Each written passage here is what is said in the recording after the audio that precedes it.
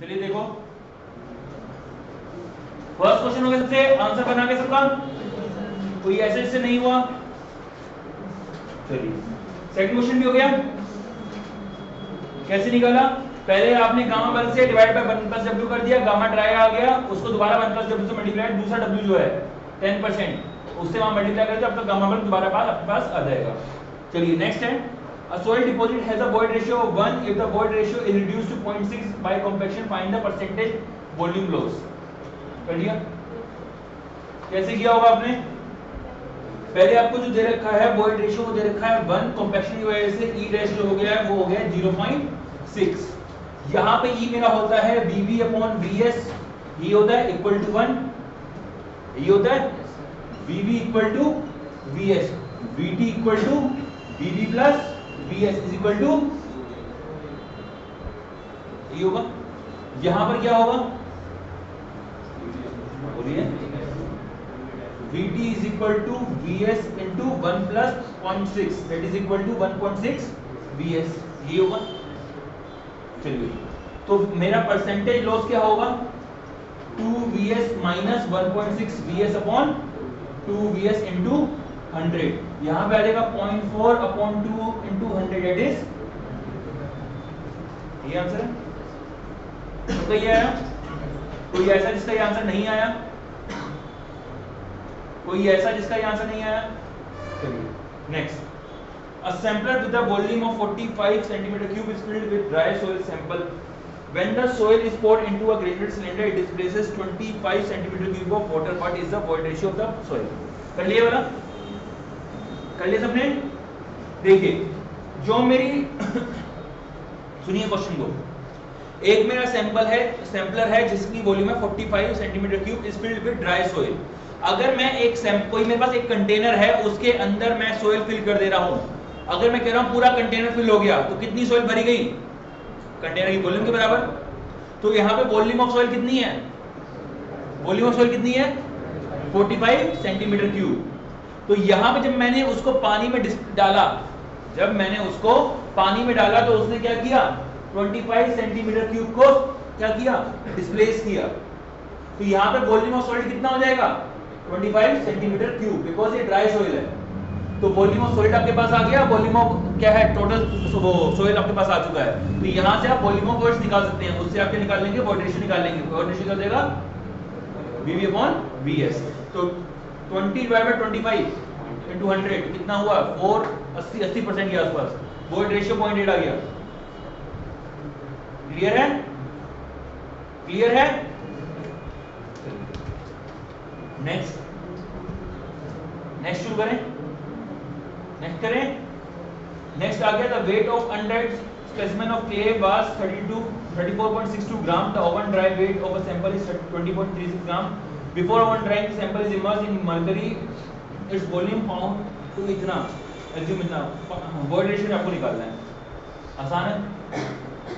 हो गया वाला क्वेश्चन किस किस से नहीं हुआ आसरा करो किस किस से नहीं हुआ आसरा करो सबसे हो गया मतलब चलो फिर नहीं करते और सबसे हो गया तो। सबसे हो गया आंसर भेजी तूने हाँ मैच हो गया था आंसर चलिए next 100 gram of dry soil having G equal to 2.7 is mixed with water of 1 liter of soil slurry prepared what is the unit weight of soil इधर देखो क्या है क्वेश्चन है इधर देखो मेरे पास 100 ग्राम की ड्राई सोयल थी मतलब ये वेट किसका है सॉलिड का ही है जिसका जो स्पेसिफिक ग्रेविटी है वो है 2.7 जी आपको दे रखा है इससे आप रो निकाल सकते हैं जी आपको दे रखा है इससे रो निकाल सकते हैं यहां पे मास दे रखा है इसकी करस्पॉन्डिंग वॉल्यूम निकाल लेंगे यहां से इसकी वॉल्यूम आ जाएगी सोयल स्लरी जो है वो आपकी बननी है एक लीटर की एक लीटर सोयल स्लरी का मतलब ये है सुनो कि यहां पे जो पूरा सस्पेंशन बन रहा है वाटर प्लस सोयल का वो एक लीटर का एक लीटर पानी नहीं है जो एक लीटर है वो क्या है पूरा सस्पेंशन है हाँ है ना तो यहां पे हम क्या करेंगे it this 1 liter will include the volume of this solids plus volume of water तो यहां पे हमें जानना है कि यहां पे सॉलिड कितना है सॉइल कितनी है और हमारा पानी कितना है तो यहां से इसका मास दे रखा है तो क्या करेंगे हम बोलिए इसकी वॉल्यूम निकाल लेंगे जी दे रखा है जी होता है रो अपॉन रो डब्ल्यू जो भी मैंने रो सॉलिड जो भी यहां पे सोयल है वो निकाल सकते हैं तो मेरा रो एस जो होगा वो क्या हो जाएगा G into rho W G आपको दे रखा है 2.7 रो डब्ल्यू दे देंगे आपके पास आंसर आ जाएगा तो यहाँ पे आपको मास दे रखा है मास अपॉन वॉल्यूम जो होता है वो रो होगा मास दे रखा है रो आ गया है यहाँ से यहाँ से वॉल्यूम इसकी निकाल देंगे तो वन लीटर में से ये वॉल्यूम माइनस कर देंगे तो आपके पास आ जाएगा वॉल्यूम ऑफ वॉटर तो मेरा जो यहाँ पे डेंस जो यहाँ पे पूछा गया है डेंसिटी पूछा गया ना पूछा गया find the unit in gram per centimetre cube आपको रो निकालना है वो क्या होगा weight upon volume total weight upon total volume total weight क्या होगा 100 ग्राम ये प्लस मास ऑफ वाटर जितनी यहां पे वॉल्यूम आएगी पानी की इसको 1000 से वो कर दीजिए आपके पास मास ऑफ वाटर आ जाएगा दोनों को add eight divide by total volume millilitre से डिवाइड कर दीजिए you will get your answer हो जाएगा कोई दिक्कत है वर्क कौन कह रहा दोबारा ये देखो यहां जो सस्पेंशन बनना है एक लीटर का बनना है एक लीटर में आपका सोलिड भी है इसमें पानी भी है दोनों चीज है ऐसा नहीं है कि आपने एक लीटर पानी लिया उसके बाद डाल रही है टोटल जो इसकी वॉल्यूम बननी है वो एक लीटर बननी है अब इस एक लीटर में पानी भी होगा इस एक लीटर में सोलिड्स भी होंगे सोलिड्स कुछ वॉल्यूम ऑक्यूपाई करेंगे पानी कुछ वॉल्यूम ऑक्यूपाई करेगा सोलिड्स कितनी वॉल्यूम ऑक्यूपाई करेंगे वो डिपेंड करेगा इसकी रो पे मास दे रखा है 100 ग्राम रो निकाल लेंगे इसका यहां से आ गया रो एच जो होता है एम अपॉन बी यहां से इसकी वॉल्यूम निकाल लेंगे टोटल है वन लीटर वन लीटर में सी वाली वॉल्यूम माइनस करेंगे तो आपकी आ जाएगी वॉल्यूम ऑफ वाटर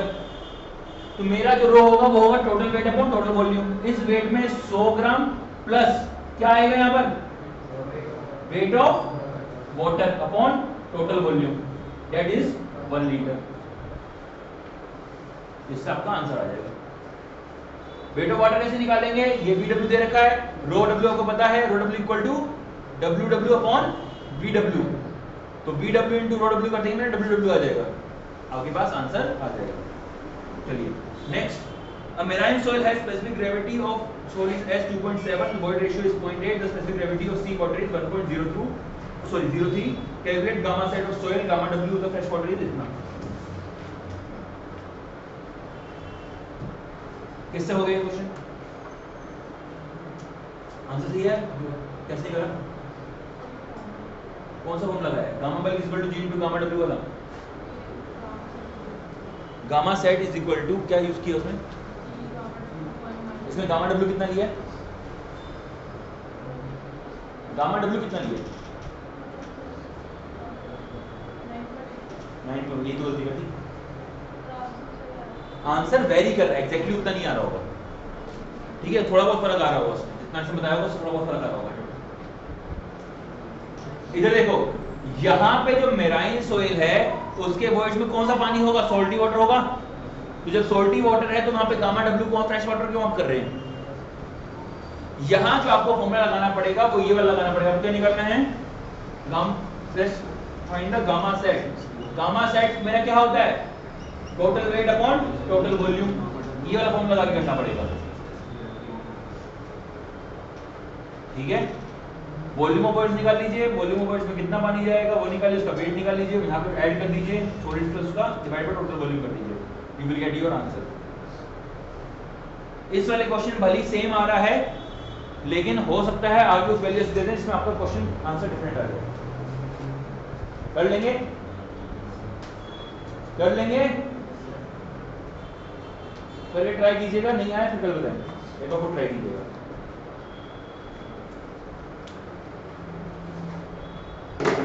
आप दोनों ट्राई कीजिए ट्राई नहीं करिए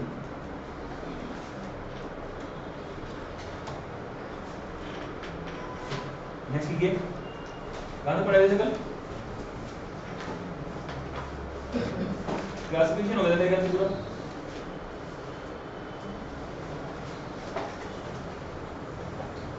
next heading soil structure next heading soil structure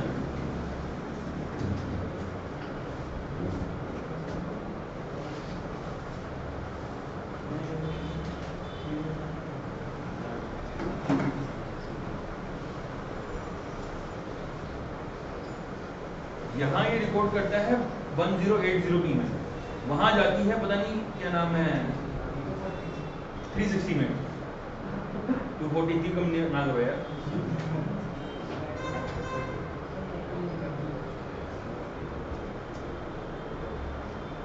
ठीक है चलिए नेक्स्ट लिखिए सोयल स्ट्रक्चर इधर देखिएगा जो मेरा सोयल का स्ट्रक्चर बनता है वो डिपेंड करता है कि उसके ऊपर फोर्सेस कौन कौन से आ रहे हैं एक जो फोर्स आ रहा होता है ऑब्वियस सी बात है वो तो ग्रेविटेशन फोर्स है वो हर पार्टिकल पे आ रहा होगा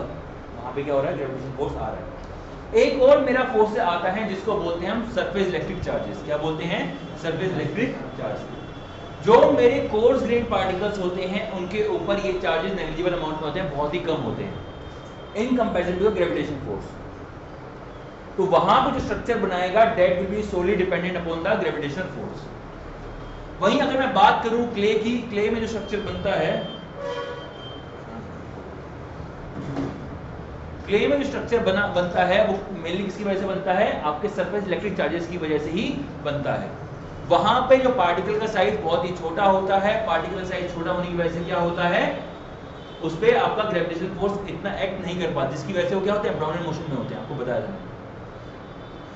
तो उसके ऊपर ग्रेविटेशन फोर्स इतना अच्छा एक्ट नहीं कर पाता जिसकी वजह से जो मेनली उसका स्ट्रक्चर डिपेंड करता है वो किस पर डिपेंड करता है सर्फेस इलेक्ट्रिक चार्जेस की वजह से वहीं अगर मैं बात करूं सिल्ट की सिल्ट जो होता है उसके ऊपर सर्फेस इलेक्ट्रिक चार्जेस भी आ सकते हैं एक्ट करने लग पड़ते हैं और उसके ग्रेविटेशन फोर्स भी एक्ट करता है तो उसका स्ट्रक्चर दोनों फोर्सेज पे डिपेंड करता है तो अगर मैं यहाँ पे बात कर रहा हूँ इसकी हमारी सैंड की तो वहां पर हमारा जो बनता है वो बनता है मेरा सिंगल ग्रेन स्ट्रक्चर क्या बनता है सिंगल ग्रेन स्ट्रक्चर वो मेनली किसकी वजह से बनता है ग्रेविटेशन फोर्स सिल्ट में कौन सा बनता है हमारा हनीकॉम कौन सा बनता है हनीकॉम वहीं हमारा क्ले में कौन सा बनता है प्लोक्यूलेंट या फिर डिस्पर्स प्लोक्यूलेंट या फिर डिस्पर्स प्लोक्यूलेंट कब बनेगा डिस्पर्स कब बनेगा अभी लिखवा लिखना शुरू कीजिए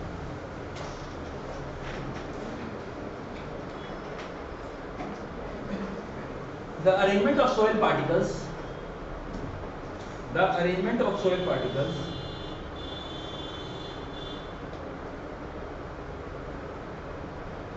in soil mass in soil mass is termed as is termed as structure of the soil is termed as structure of the soil. Full stop. also a given sample of the soil a given sample of soil may have following types of structure may have following types of structure number first number first coarse grain structure or single grain structure coarse grain structure or single grain structure. इसमें देखिए, this type of structure is found. This type of structure is found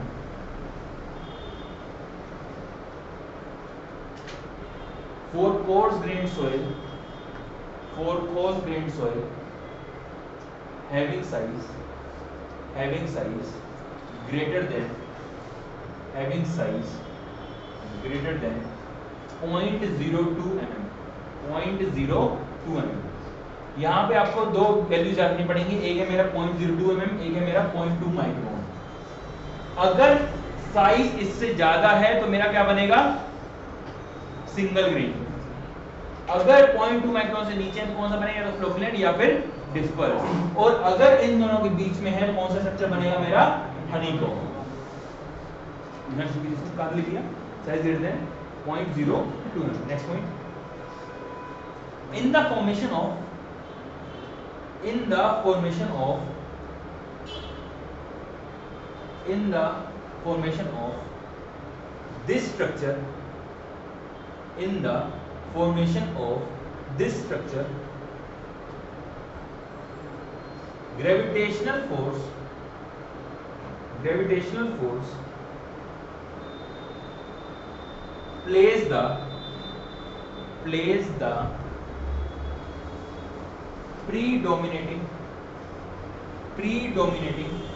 plays the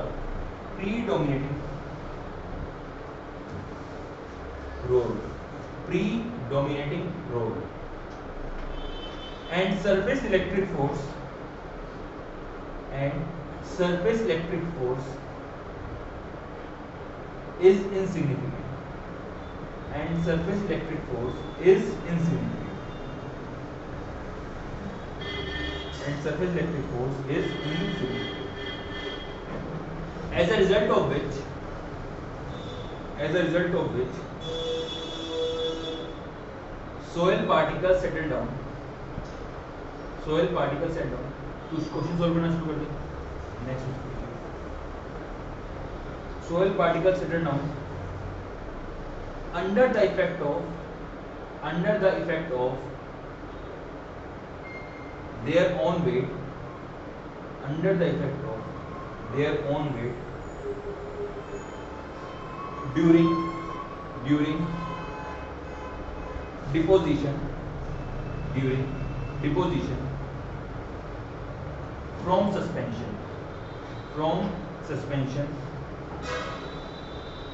leading to leading to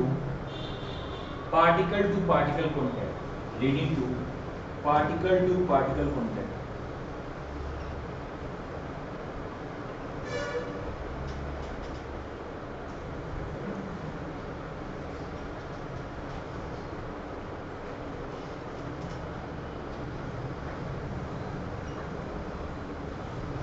इसमें क्या होता है particle से down करते हैं because of gravitation force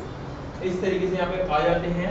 यहाँ पे आप देख सकते हैं there is particle to particle contact यहाँ यहाँ यहाँ ये क्या हो रहा है पार्टिकल टू पार्टिकल कॉन्टेक्ट हो रहा है मेनली इसमें कौन सा फोर्स लग रहा है ग्रेविटेशन फोर्स लग रहा है सिंपल एक क्वेश्चन बनता है कि सिंगल ग्रेन स्ट्रक्चर कौन सी सोयल में बनता है किसे बनेगा या तो सैंड में या फिर ग्रेवल में हनी कॉम किसे बनता है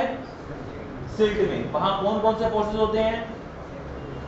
gravitation as well surface temperature सिर्फ आपको ये क्वेश्चन बनता है इससे सिंगल ग्रेन में कौन से फोर्स आएंगे हनीकॉम में कौन कौन से प्रोजेक्ट कर रहे होंगे फ्लोक्यूलम डिस्पर्स में कौन कौन से प्रोजेक्ट कर रहे होंगे एक क्वेश्चन यहाँ से आना नेक्स्ट क्वेश्चन क्या आ सकता है सिंगल ग्रेन कौन से सोइल बनता है हनीकॉम कौन से सोइल बनता है और हमारा फ्लोक्यूलेंट डिस्पर्स स्ट्रक्चर कौन से सोइल में बनता है फिर एक थर्ड क्वेश्चन ये बन सकता है कि फ्लोक्यूलेंट कब बनेगा और डिस्पर्स कब बनेगा उसमें जो डिफरेंस है परमेबिलिटी किसी ज्यादा होगी किसी कम होगी वो क्वेश्चन यहां से बनता है चलिए नेक्स्ट लीजिए ये डायग्राम बनाना बना लीजिए हल्का सा ये तो खाली पार्टिकल पार्टिकल कंटेंट दिखाया ये बनाना मत गोल गोल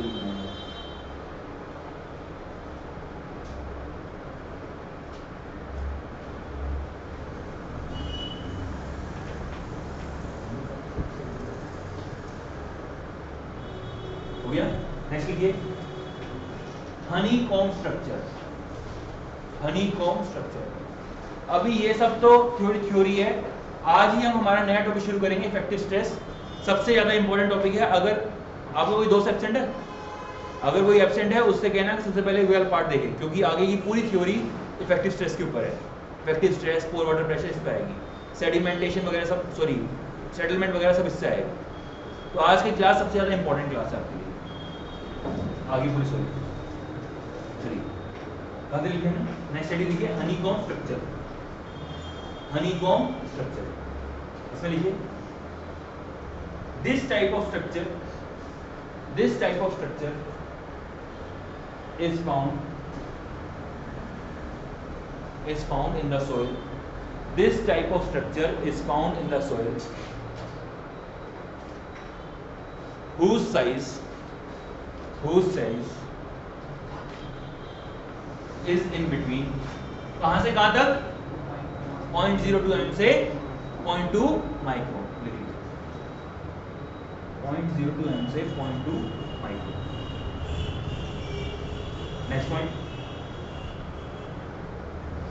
formation of the structure in the formation of the structure in the formation of the structure both both gravitational force both gravitational force and and surface electric force and surface electric force plays an equal and important role plays an equal and important role plays an equal and important role next one when solid is rolled out when solid is rolled out under the effect of gravitational force when solid is rolled out under the effect of gravitational force its particles are held together its particles are held together its particles are held together by the held together by the surface electric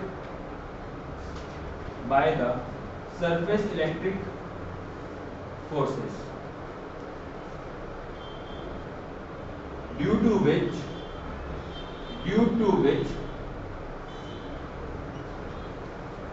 due to which it forms due to which it forms honeycomb structure honeycomb structure due to which it forms honeycomb structure and has and has large volume of voids and has large volume of voids in between them and has large volume of voids in between them next point if the structure is unbroken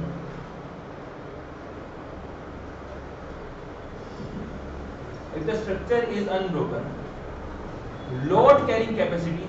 इस line को drive कीजिएगा line लिखवा रहा इस line को drive कीजिएगा load carrying capacity is comparatively high is comparatively high is comparatively high along with high permeability along with hypermedia. Full stop. But when the structures are broken, but when the structures are broken, both load carrying capacity, both load carrying capacity and permeability and permeability both load carrying capacity and permeability gets reduced gets reduced इधर देखिए यहां पर मेरे पास solids हैं जब ये gravitation force लग रहा होता है ठीक है ये नीचे गिर रहे होते हैं इनके ऊपर क्या है सर्फ इलेक्ट्रिक फोर्सेस हैं जो क्या करते हैं इनको एक क्लस्टर की फॉर्म में रखते हैं जब ये क्लस्टर की फॉर्म में रहेगा तो बीच में क्या होते हैं लार्ज वॉल्यूम ऑफ बॉयल्स रह जाते हैं जब लार्ज वॉल्यूम ऑफ वॉइड्स होंगे तो क्या होगा इसकी परमिटी भी अच्छी खासी मेरे पास मिल जाती है क्लियर है जब हम इसमें लोड लगाते हैं तो क्या होता है इसकी लोड कैरिंग कैपेसिटी काफी ज्यादा होती है till the structure is not broken till the structure is not broken एक बार स्ट्रक्चर ब्रोक हो जाए तो क्या होगा इसकी परमिटी और क्या होगा लोड कैरिंग कैपेसिटी दोनों डिक्रीज हो जाएगी क्लियर है परमिटी से जानते हैं रीजन परमिलिटी कितनी आसानी से इसमें से पानी फ्लो कर सकता है कोई फ्लूड फ्लो कर सकता है वो उसकी परमिलिटी होती है अगली बात समझ कोई दिक्कत है इसमें ड्रैगन ये मेरा है अपनी को मधुमक्खी छत्ता देखा है वो कुछ इस तरह का ही होता है देखना मधुमक्खी का छत्ता खाली देखना हाथ पैर मत लगा देना उसमें वरना मधुमक्खियां तुम्हें देख लेंगी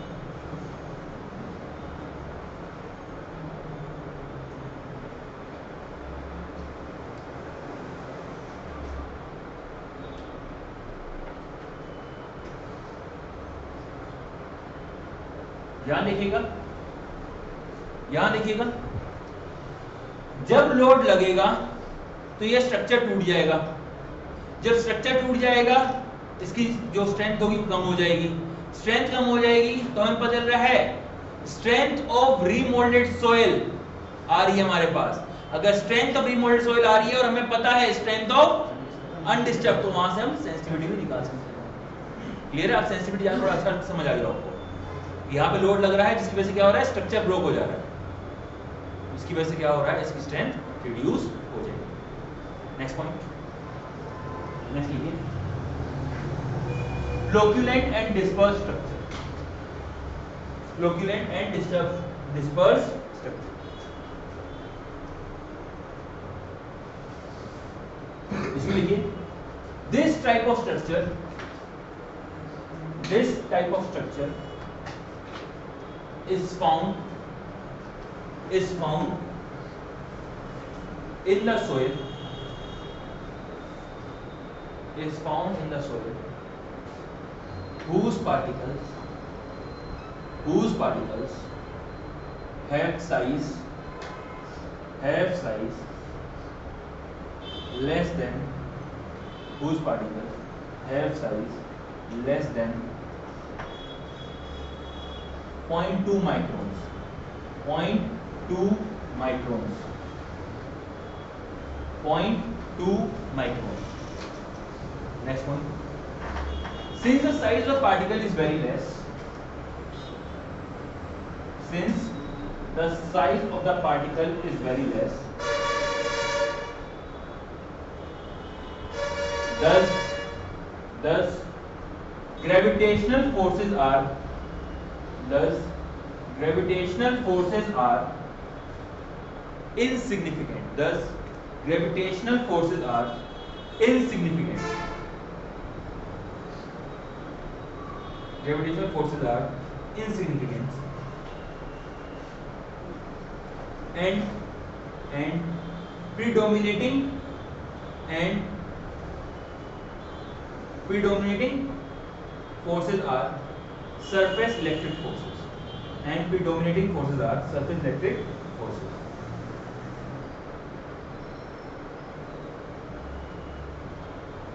Next point.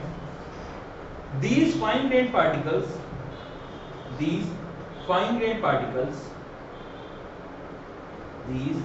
fine grained particles in which in which these type of structure these fine grained particles in which these type of structure are found are found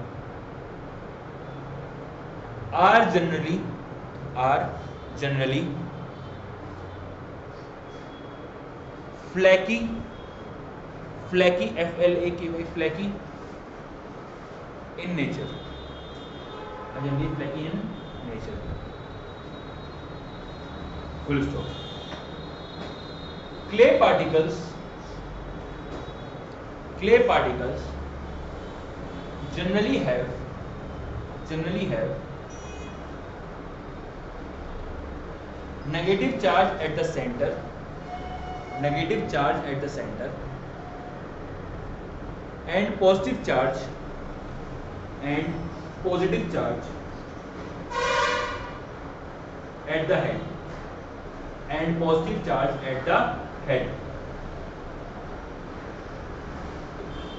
next point depending upon the depending upon the resultant nature of the forces depending upon the resultant nature of the forces bracket में attractive और repulsive attractive और repulsive flocculent और disperse structure में भी form flocculent और disperse structure में भी form flocculent और डिस्पर्स स्ट्रक्चर में भी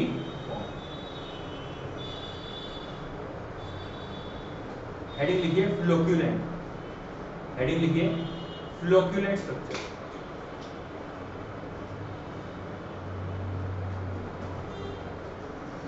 लिखने से पहले जरा से यहां देख लीजिए जो मेरे क्ले के पार्टिकल्स होते हैं they are flake in nature ठीक है क्वेश्चन बनता है कि क्ले साइज के पार्टिकल्स कौन साइज होते हैं राउंड होते हैं फ्लेकी होते हैं कैसे होते हैं they are flake in nature जिसके सेंटर में क्या होता है नेगेटिव चार्ज होता है और हेड में क्या होता है पॉजिटिव चार्ज हमारा होता है यही जो सरफेस इलेक्ट्रिक चार्ज आ रहे हैं जिसकी वजह से क्या हो रहा है यहाँ पे इस तरीके से हमारे स्ट्रक्चर बनता रहेगा यहाँ पे साइज बहुत छोटा है जिसकी वजह से क्या हो रहा है ग्रेविटेशन फोर्स इस पर एक्ट नहीं कर पा रहा जो हमारे नेट जो फोर्स आ रहा है जो हमारा नेट फोर्स आ रहा है अगर वहां पे अट्रैक्टिव होता है तो मेरा कौन सा बनेगा फ्लोक्यूलेंट अगर मेरा जो नेट रिजल्टेंट फोर्स आ रहा है अगर वो रिपल्सिव है वो कौन सा बनेगा dispersed structure. In flocculent structure, the particles are arranged from यहाँ देखिए ये इसका हेड है ये मेरा पार्टिकल है इसका ये हेड है ठीक है और ये इसका क्या है सरफेस तो यहाँ पे हेड टू सरफेस हम क्या कर रहे हैं कनेक्ट कर रहे हैं यहाँ पे कनेक्ट हो जाते हैं लेकिन यहाँ पे क्या होता है सरफेस टू सरफेस कनेक्ट होता है देख सकते हैं सरफेस टू सरफेस यहाँ पे कनेक्ट लिखिए इसमें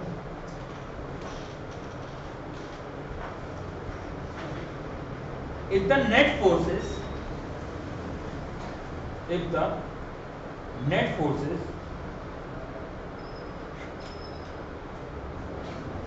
if the net forces are are attractive if net forces are attractive in nature attractive in nature during deposition during deposition it leads to the formation of it leads to the formation of it leads to the formation of flocculent structure it leads to the formation of flocculent structure in this type of structure in this type of structure particles are arranged particles are arranged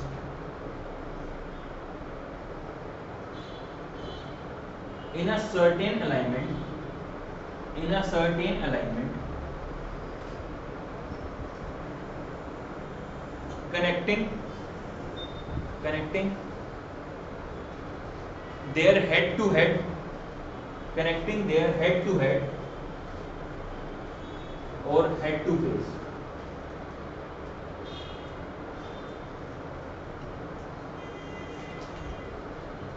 head to face यहां जो मैं surface बोला हम technical word में से face बोलते हैं ठीक है हेड एंड फेस तो यहां पे जो स्ट्रक्चर ये मैंने बनाया है ये कुछ इस तरीके से है एक्चुअल स्ट्रक्चर ये है जो मैंने आपको यहाँ पे बना के दिखाया ये मेरा कौन सा है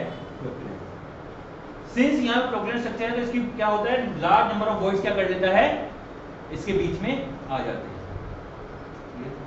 and one more thing since यहाँ पे क्या है अट्रैक्टिव नेट अट्रैक्टिव फोर्सेस हैं इसकी वजह से क्या होगा इसकी लोड कैरिंग कैपेसिटी भी अच्छी खासी होगी ऑब्वियसली बात है मान लीजिए कि एक मेरा दो दो बंदे हैं ठीक है दो बंदे दो दोस्त हैं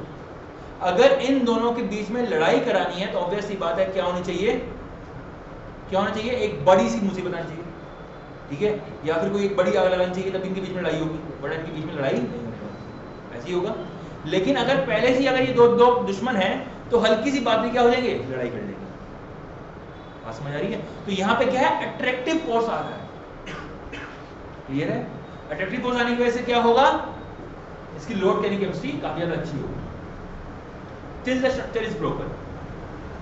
till the structure is broken next point is sir soil having soil having flocculent structure soil having flocculent structure is found is found to have soil having flocculent structure is found to have high strength high strength comma high permeability high strength comma high permeability high strength comma high permeability and low compressibility and low compressibility and low compressibility full stop full stop with the with the increase in concentration of minerals with the increase in concentration of minerals with the increase in concentration of the minerals in the water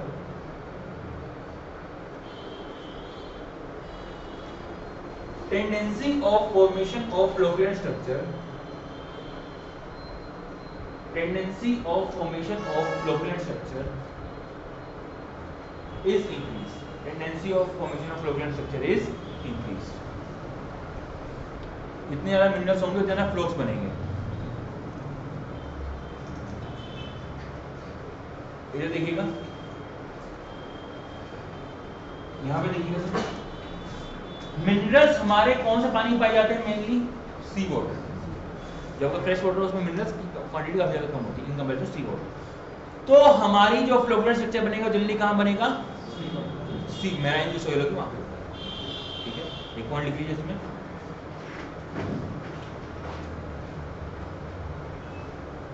flocculate structure flocculate structure soil Flocculent structure soil is generally found is generally found in sea in sea आप कहेंगे sir हमारे जो पानी उसमें minerals होते हैं अरे होते तो है मना कौन कर रहा है ठीक है जो आप पी रहे हैं यहाँ पे कैल्शियम काफी ज्यादा है देहरादून में आपको पता ही होगा कभी बाल वगैरह सब डरते हैं पर जो हमारा समुद्र है उसमें एन की कंसंट्रेशन कितनी ज़्यादा सोचिए तो उसमें मिनरल्स का कंसंट्रेशन काफ़ी ज़्यादा in comparison to fresh water इसलिए वहां नेक्स्ट लिखिए डिस्पर्स इसमें लिखिए if the net forces if the net forces during deposition during deposition are repulsive are repulsive during deposition are repulsive if the net forces during deposition are repulsive are repulsive then then dispersed structure then dispersed structure is formed then dispersed structure is formed in this type of structure particles are aligned particles are aligned in phase to phase orientation in phase to phase orientation particles are aligned in phase to phase orientation किसी को मतलब कोई ऐसे English word में दिक्कत आई तो मेरे को बता दीजिए एग्जैक्ट टेक्निकल वर्ड तो आपको मैं हिंदी में नहीं बता सकता इसको क्या बोलते हैं लेकिन आपको समझा दूंगा किसी वर्ड में करा दूंगा in face to face orientation next point soils having disperse structure soils having disperse structure possess lower strength soil having disperse structure possess lower strength lower compressibility lower strength,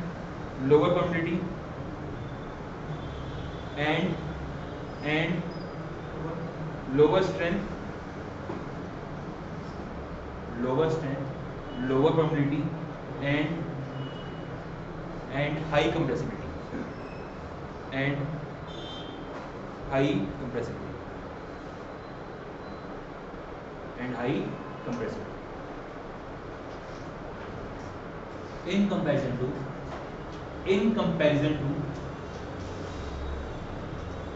flocculate structure in comparison to flocculate structure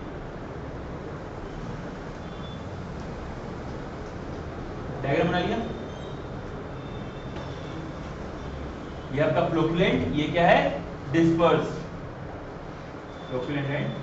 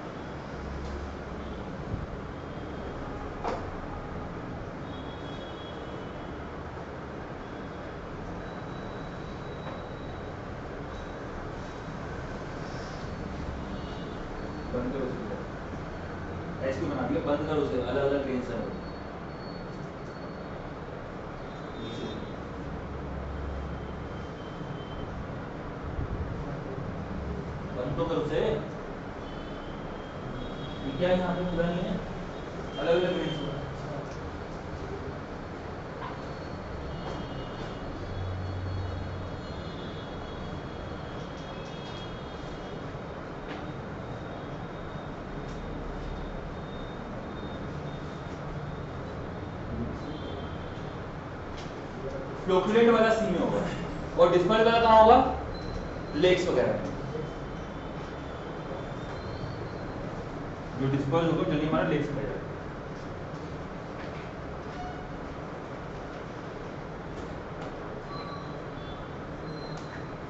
lacustrine जो clay होगी जो लेगोस्ट्राइन clay होगी उसमें कौन सा होगा disperse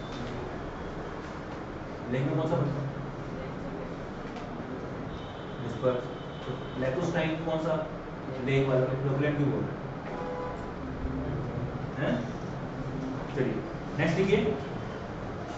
next लिखिए structure of composite soil structure of composite soil अगर कोर्स ग्रेड फाइन ग्रेड दोनों हैं एक ही सोयल में तो वहां पे हम उसकी बात करें स्ट्रक्चर ऑफ कंपोजिट सोयल सबसे पहले लिखिए coarse grain coarse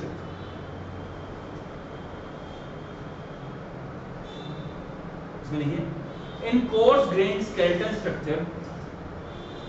in coarse grain skeleton structure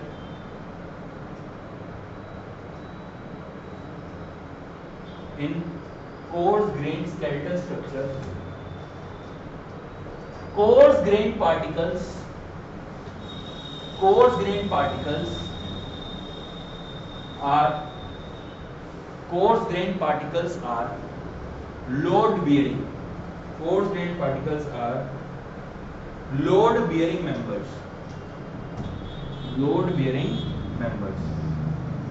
And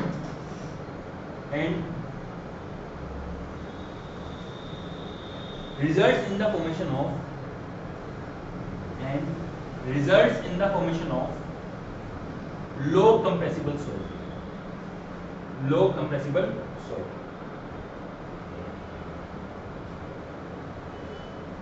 Next one, in cohesive matrix structure. In cohesive matrix structure, fine grain particles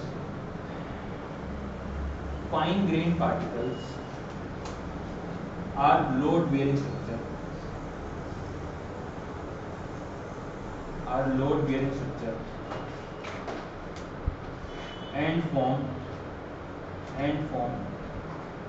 high compressible and form high compressible solid and form high compressible solid as as the volume of voids as the volume of voids in fine grained soil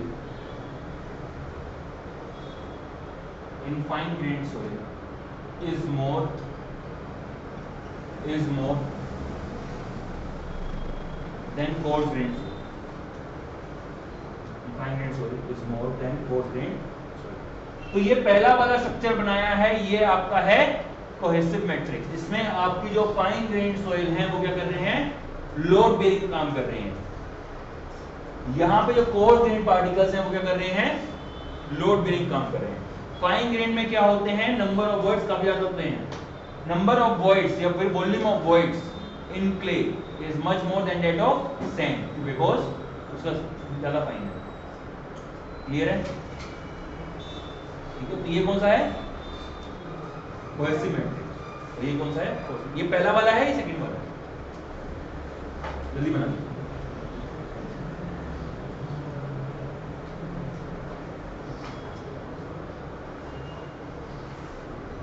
this is first one this is second one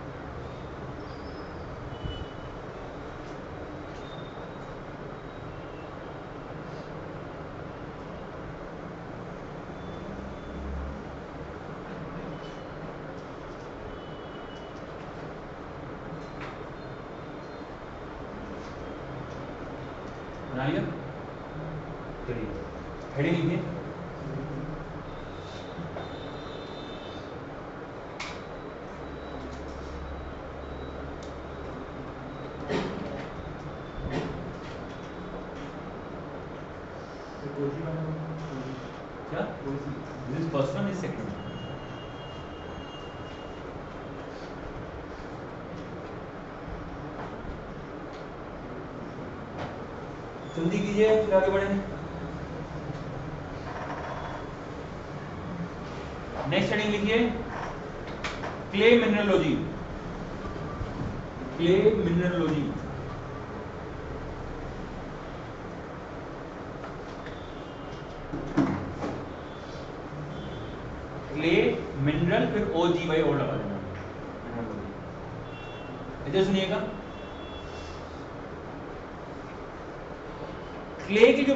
minerals होते हैं चाहे वो मेरे कर्नेट हो चाहे light हो चाहे light हो वो दो बेसिक यूनिट से बने होते हैं एक मेरा होता है सिलिका टेट्राहेड्रल यूनिट एक मेरा होता है octahedral unit silica tetrahedral unit and होता है दूसरा octahedral unit silica tetrahedral unit में क्या होता है आपके पास चार ऑक्सीजन के मोलिक्यूल्स होते हैं जो आपके एक सिलिका मोलिक्यूल को इंस्क्राइब करके रखते हैं आपके क्या होते हैं चार ऑक्सीजन मोलिक्यूल्स होते हैं जो आपके एक सिलिका मोलिक्यूल को इंस्क्राइब करके रखते हैं ठीक है इसका अगर मैं स्ट्रक्चर बनाऊं तो इसको थ्री में आपको समझना पड़ेगा जरा समझिए एक ऑक्सीजन मोलिक्यूल यहां पर एक यहां पर एक यहां पर एक ट्रायंगल बना एक मोलिक्यूल ऊपर कितने पेज बनेंगे एक दो एंड तीन तीन फेज बने चौदह फेज नीचे बना हुआ बच्चों छोड़िए क्लियर है इतनी बात ठीक है चलिए इसके बीच में लगा दो एक आपका सिलिका तो एक सिलिका यहां पर इससे कनेक्शन यहां पे ऑक्सीजन का और यहां पे क्या हो रहे हैं एक दो तीन मेरे पास पेन देना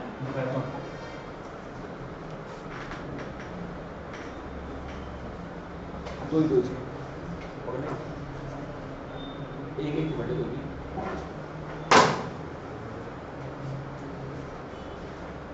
दिख रहा है आपको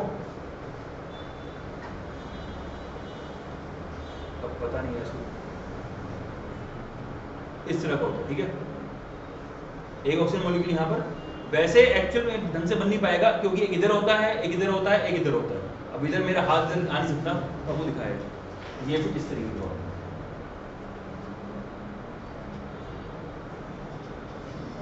और यहां पे आपका यहां से इस तरीके से क्लियर है कैसे समझ रहे हैं इसके बीच में यहाँ पे क्या होता है एक सिलिका का मॉलिक्यूल तो four oxygen atoms inscribe in silica उसको बोलते हैं टेट्राहेड्रल यूनिट क्लियर है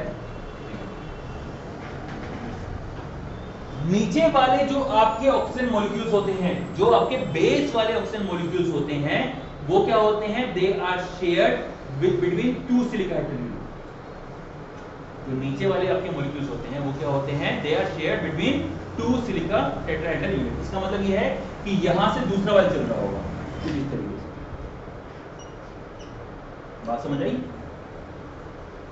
बात समझ आई कैसा हो रहा है इसी से दूसरा आ गया तो यहां पे जो चार्ज होता है एक ऑक्सीजन पे वो कितना होता है माइनस टू का माइनस टू का होता है लेकिन वो चार्ज दो जगह बढ़ जा रहा है तो इस वाले में कितना आ रहा होगा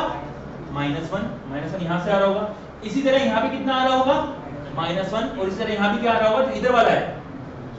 माइनस वन तीन बेस के हैं जो ऊपर वाला होता है वो सोलली इसका होता है वो किसी और का नहीं होता ठीक है तो यहां पे चार्ज कितना आया सिलिका पे कितना होता है कितना होता है प्लस प्लस फोर होता है प्लस फोर प्लस फोर होता है प्लस फोर होता है मेरे ख्याल से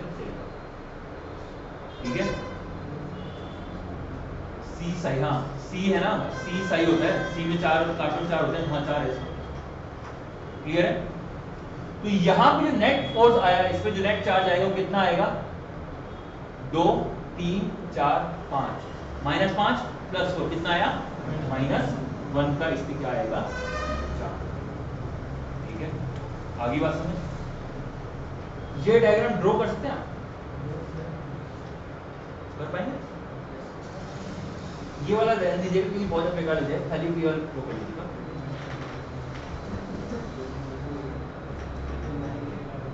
ये बेस ये वाला बेस है ठीक है ये जो ऑक्सीजन है ये तीनों बेस पे है तो यहां से कनेक्शन इससे हो रहा है ये हो रहा है और यहां कैसे हो रहा है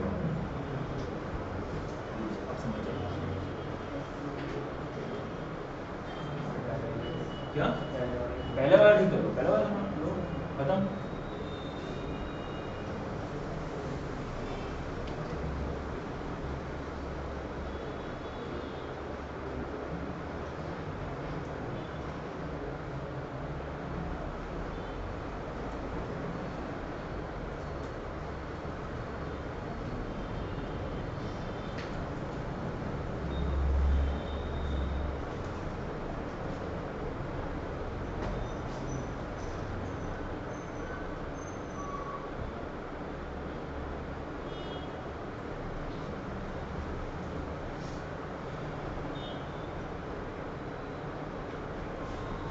इसके बारे में थ्योरी नहीं लिखवा रहा हूँ खाली आप समझ जाओ डायग्राम किस तरीके से है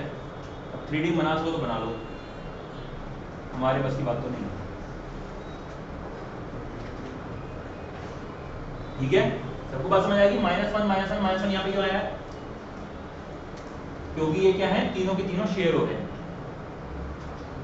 चलिए नेक्स्ट देखिए next is octahedral unit octahedral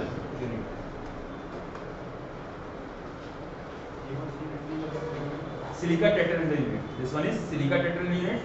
Next one is octahedral unit. Octahedral.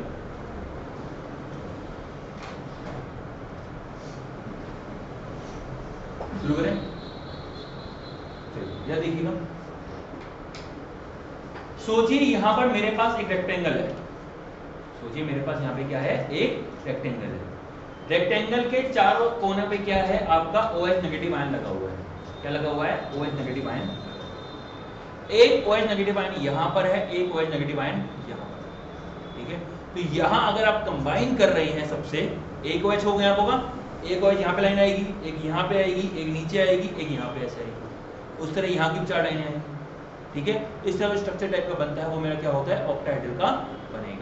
इसके बीच में आपका एल्यूमिनियम भी हो सकता है जो इंस्क्राइब हो सकता है एल्यूमिनियम भी हो सकता है वो आपका आयरन भी हो सकता है कुछ भी हो सकता है क्लियर है तो इसका जो सिंबल होता है सिलिका वाले का वो होता है हमारा ट्रेपेजोइड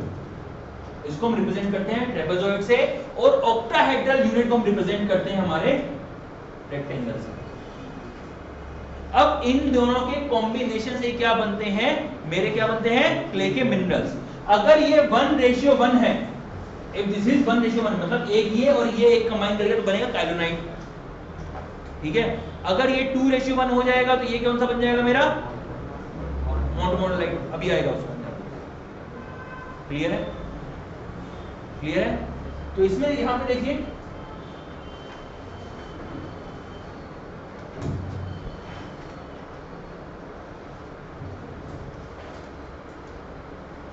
तो एक रेक्टेंगल मेरा यहां पर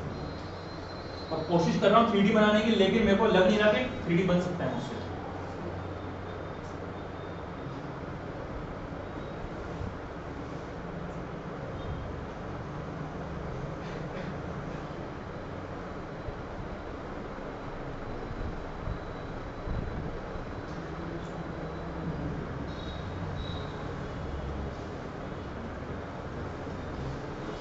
दिख रहा है कुछ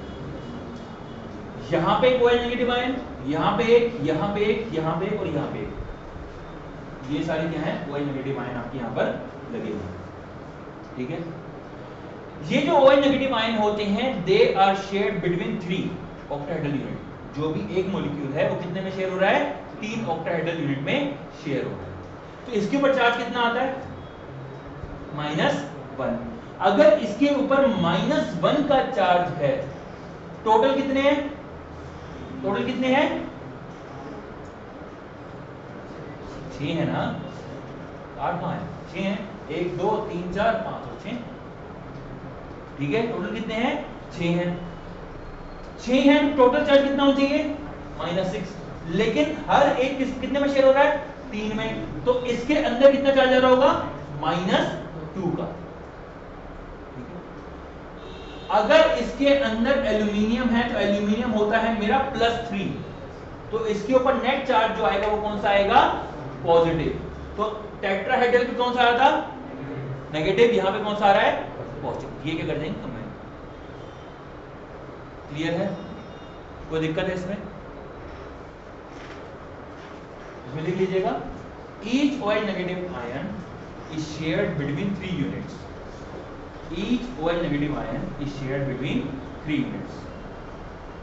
इसकी थ्योरी वोरी मैंने लिखो है each OH negative ion is shared between three units. Each OH negative ion is shared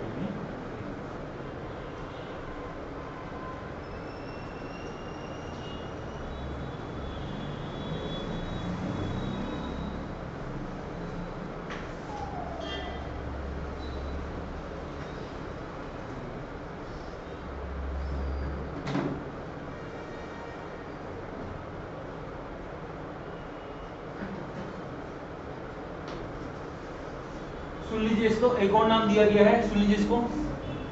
अगर एल्यूमिनियम बीज में है तो इसको नाम दिया गया है गिप्साइड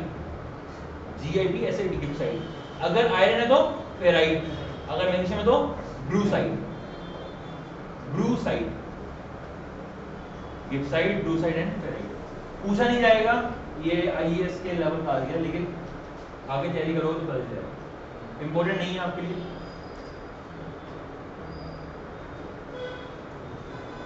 चार देख लेना चार भी इंपॉर्टेंट नहीं है लेकिन अब तो रटने की जरूरत ही नहीं है समझ पाएगी तो आपको नेक्स्ट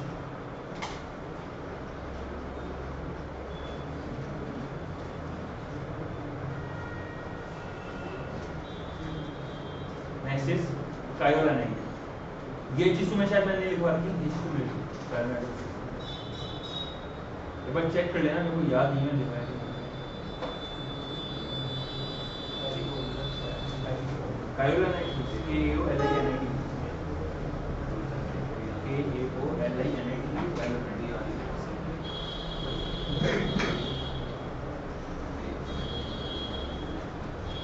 लिखिएगा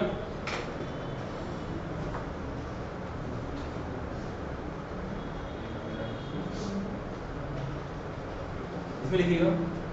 it is most common mineral it is most common mineral of kaoline group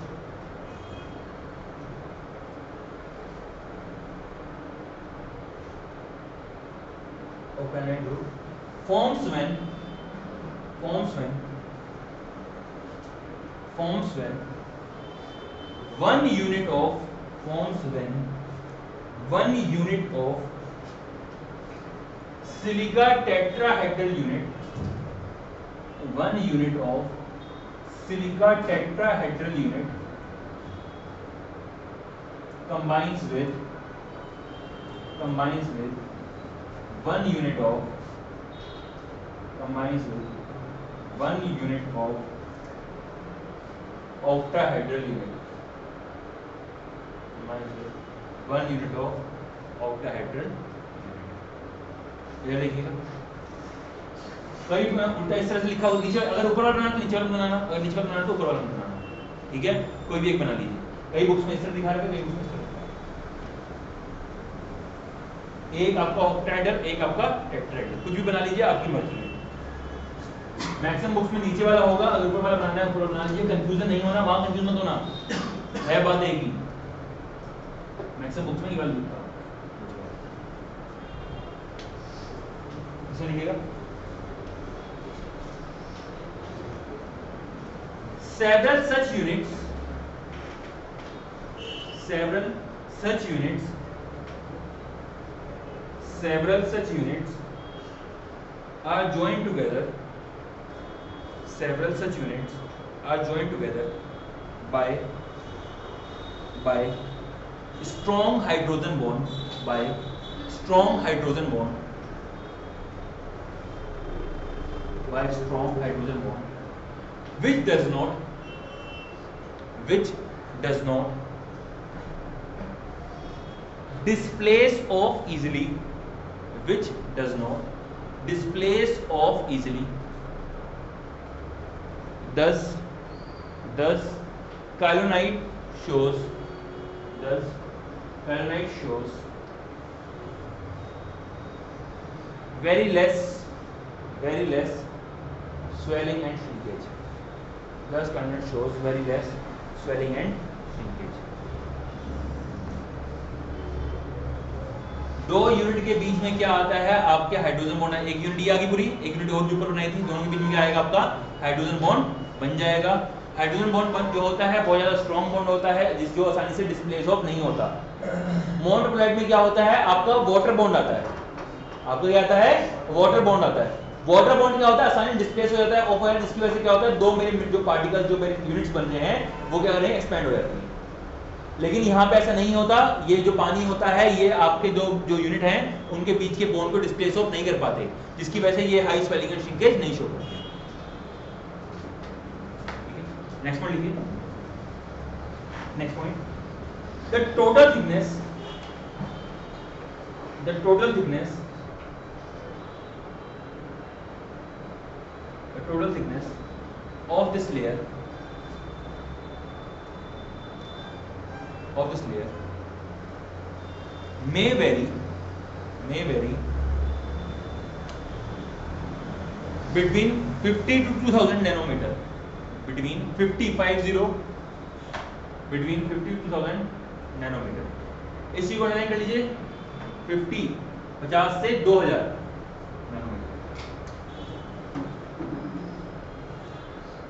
Next point. The kaolinite mineral, the kaolinite mineral is electrical neutral. The kaolinite mineral is electrical neutral but in presence of water but in presence of water but in presence of water may show negative charge may show negative charge negative charge पर line कर लीजिए question बनता है may show negative charge next लिखिए मोंट Morillo night montmorillonite montmorillonite इसमें लिखिएगा bank में लिखिएगा two ratio one two ratio one इसमें क्या होता है आपकी दो टेट्राहेड्रल यूनिट जो होती हैं वो एक ऑक्टाहेड्रल यूनिट को सैंडविच कर देती हैं बीच में there is one octahedral unit between two tetrahedral unit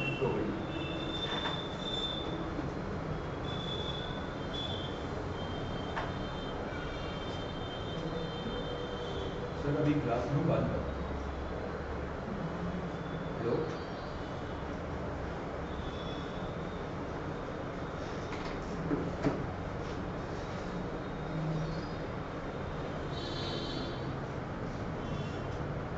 हो गया इसमें लिखिएगा it is the most common mineral it is the most common mineral इसको याद रखिएगा एक ट्रॉफी की तरह टॉफी ऐसी होती है ट्रॉफी ऐसी तो होती है वैसी है इसे लीजिएगा it is most common major of clay of clay who structure is form whose structure is form when octahedral unit when octahedral unit bracket में gibbsite when octahedral unit is sandwiched between is sandwiched between two silica two silica tetrahedral unit two silica tetrahedral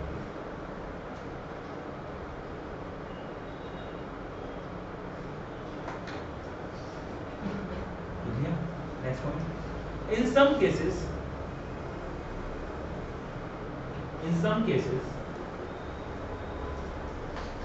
silica tetrahedral unit silica tetrahedral unit is replaced is replaced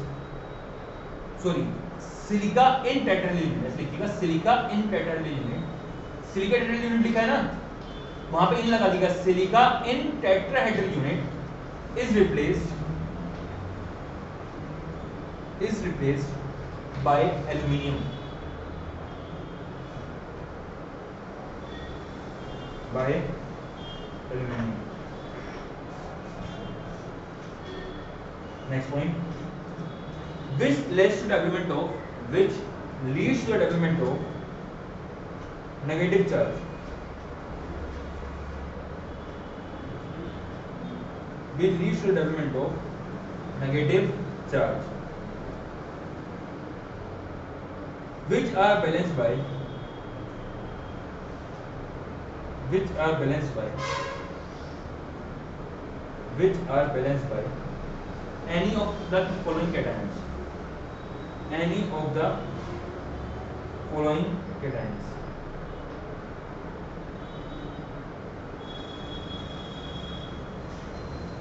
इसमें लिखिएगा sodium calcium etcetera sodium calcium etcetera next point the structure changes the structure changes in which in which replacement of one atom replacement of one atom by another by another takes place in replacement of one atom by another takes place is termed as is termed as isomorphous substitution is termed as isomorphous substitution isomorphous substitution isomorphic unit and amorphic unit सुनिए इस बात को यहां पे क्या है आपकी aluminium यहां पे क्या आपका सिलिका कई बार क्या होता है silica and tetrahedral unit is replace by aluminium that ratio development of negative charges ठीक है ये जो सब्स्टिट्यूशन होता है इसको हम क्या बोलते हैं आइसोमोर्फस सब्स्टिट्यूशन अगर ये सब्स्टिट्यूशन 20% से ज्यादा हो जाए If the substitution is more than 20%, then this component is referred as elide. elide ka structure bilkul same hota hai bas usme isomorphic substitution kya hota hai 20% se ya zyada hota hai usko barabar hota hai wo bhi 2 ratio 1 होता है ठीक है तो यहां पे क्या होता है ये यूनिट होगी दूसरी यूनिट होगी उन दोनों बीच में कौन से होते हैं वाटर बॉन्ड होते हैं वाटर बॉन्ड आसानी से डिस्प्लेस हो जाते हैं जिसकी वजह से क्या होगा ये आसानी से स्वेलिंग शो कर सकते हैं इसका जो साइज वेरी करता है मतलब जो कंप्लीट कंबाइन करके जो साइज बनना लाइन चेन बना सकते हैं उसका साइज वेरी करता है जनरली थ्री नैनोमीटर के आसपास वेरी करता है ठीक है और अगर एक यूनिट की बात करूं यहां से लेके यहां तक जिसकी साइज है डेट इज टेन एंगस्ट्रॉम अगर खाली एक यूनिट की बात करूं that is ten angstrom angstrom मतलब टेंस्ट्रॉम माइनस टेन ठीक है आगे बात समझ जो कैलोरी था वो मेरा था अराउंड सेवन एंगस्ट्रॉम ये आपका अराउंड टेन एंगस्ट्रॉम ठीक है लेकिन जो चेन बनाएगा that will be of three nanometre वो वहां पे पचास के आसपास बना था total thickness of these minerals total thickness of these mineral layers total thickness of these mineral layer is around three nanometre is around 3 nanometer. Next point, elite. Next is elite.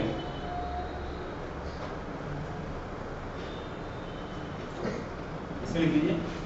if isomorphic substitution is more than 20% it will form if isomorphic substitution in monoclonite is more than 20 20% it is it will form elite it will form elite if isomorphic substitution in montmorillite is more than 20% it will form elite या फिर ऐसा बोलते हैं it is referred as elite it is referred as elite next लिखिएगा next heading next heading eighteen हो गया आपकी minerals next is आपका soil water soil water soil में पानी कौन कौन सा हो सकता है नेक्स्ट हेडिंग सोयल वाटर ये थोड़ा सा थियोरिटिकल पार्ट है ठीक है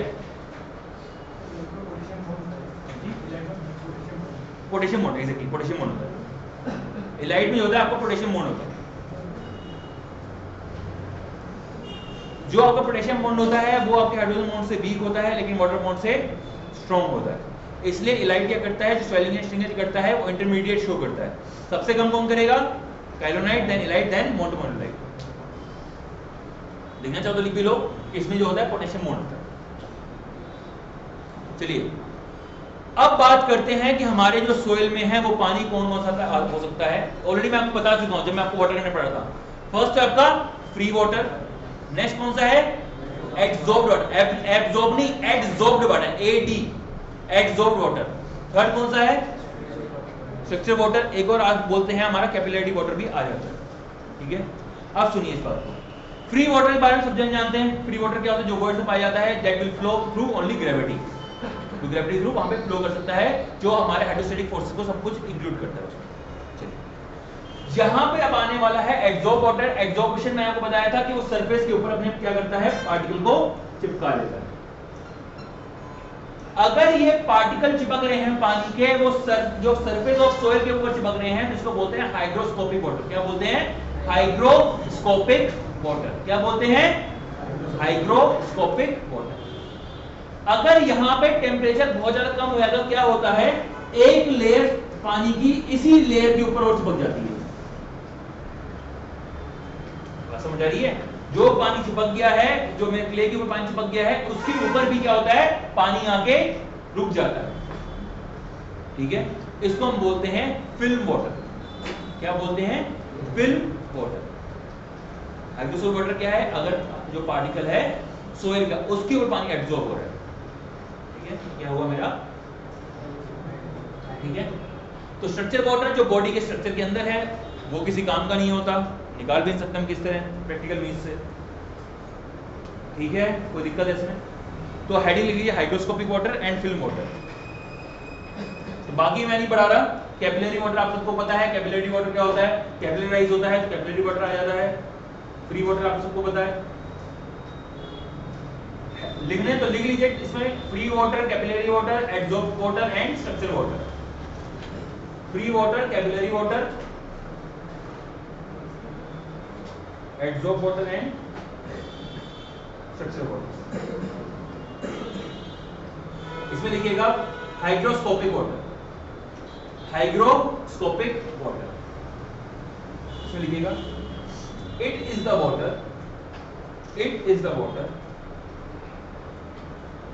which is being absorb which is being absorbed by the soil solids by the soil solids from the atmosphere from the atmosphere by physical forces of attraction by physical forces of attraction it is the water which is absorbed by the soil solids from the atmosphere by physical force of attraction ठीक है next लिखिए film water next is film water film water में लिखिएगा it is also absorbed water it is also absorbed water which is formed due to the which is formed due to the condensation which is formed due to the condensation which is formed due to the condensation of water on the layer of hygroscopic water on the layer of hygroscopic water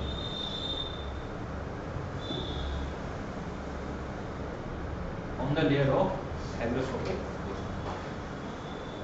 capillarity sabko yaad hai fluid mein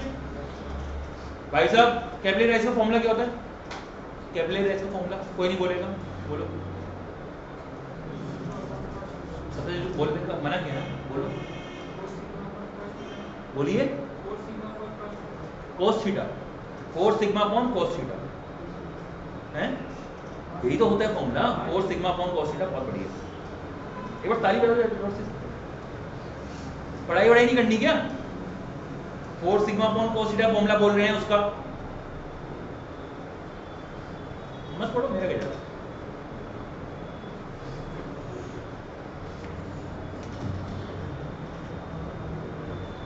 साथ साथ पढ़ लो last में इतना subject हो जाएगा revision तक का time नहीं मिलेगा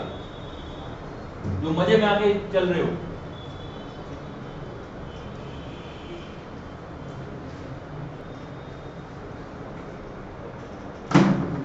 जी अमन साहब क्या होता formula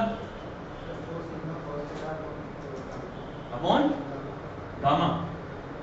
upon gamma बहुत बढ़िया माजू साहब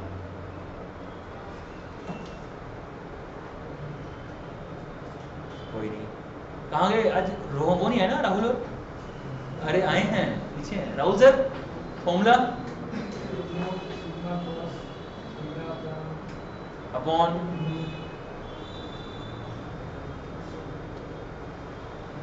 ma'am आप याद ही नहीं अपॉन अपॉन बोलो अपॉन क्या बोला अरे बोलो साइन दे क्या बोल रही है उनको तक तो साइन दिया आपने इतनी देर बोला हाँ जी अपॉन गामा डी डी कौन बोलेगा two four sigma upon cos theta कुछ भी बोलना है मतलब तुम्हें फॉर्मूला क्या बोला तुम्हें फोर सिग्मा अपॉन कॉस ये हो रही है पढ़ाइया तुम्हारी क्या आज क्या रीजन है तेरा ना पढ़ने का फॉर्मूला लाने का क्या रीजन है रोज एक कोई ना कोई तो बहाना लगा ही देता है कभी लाइट चली गई कभी ये हो गया कभी वो हो गया आज बहाना सोच के नहीं आया चलो क्या आज जुमा है याद ही रहेगा जुमा के जुमे को तो बल्कि वो बोलते हैं क्या नाम है अल्लाह का दिन बोलते हैं उसे ये बोलते हैं ना यही बोलते हैं जुमे को अल्लाह का दिन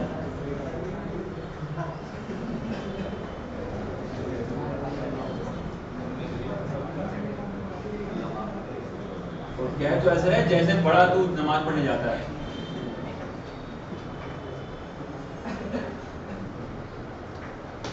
इधर देखो डेरिवेशन दोबारा कराऊं क्या कौन कह रहे हैं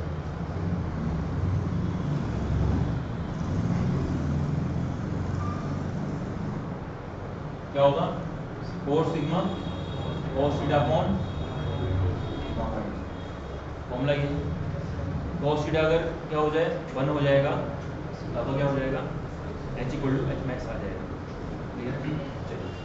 यहां पे देखिएगा इतना पोर्शन क्या हो जाएगा मेरा डी बाई टू इतना पोर्शन क्या हो जाएगा डी बाई टू होगा नहीं होगा इधर देखिए ऐसे डायग्राम बनाऊँ आपको क्लियरली समझ आ जाएगा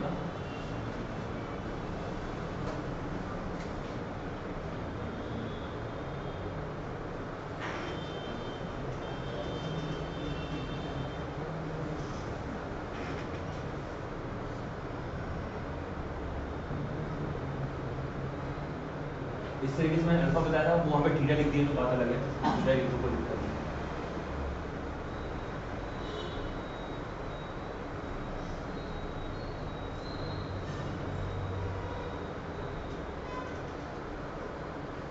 ये कितना हो जाएगा अगर ये एंगल आपका थीटा है या फिर अल्फा है ठीक है यहां पे एंगल कितना हो जाएगा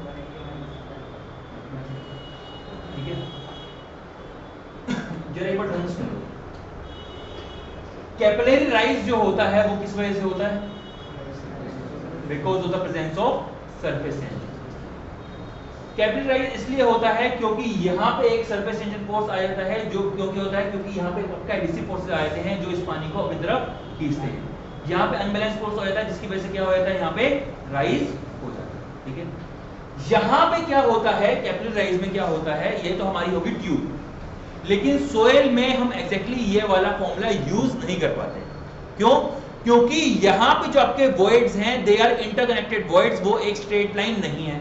वो जो मेरे वर्ड्स आ रहे हैं कुछ इस तरीके से मेरा पानी राइज करेगा वो इस तरीके से स्ट्रेट लाइन में राइज नहीं करेगा तो एग्जैक्टली ये वाला फॉर्मूला नहीं लग पाता एक रीजन ही हो गया नेक्स्ट यहाँ पे जो वर्ड्स हैं वो सिर्फ यहाँ पे कनेक्ट नहीं हो रहे वो हॉर्जोंटल भी कनेक्ट हो रहे हैं तो यहाँ पे इस तरीके से मूवमेंट है और इस तरीके से भी मूवमेंट है तो एग्जैक्टली हम ये वाला फॉर्मूला नहीं लगा क्लियर है ठीक है इस पॉइंट एक पॉइंट को लिख लो उसके बाद शुरू करते हैं मैं इस पॉइंट को लिखिएगा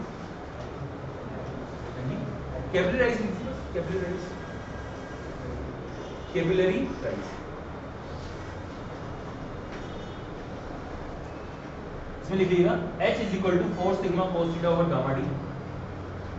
equal to four sigma over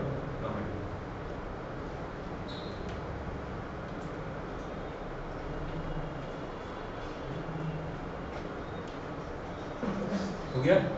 next लिखिए this formula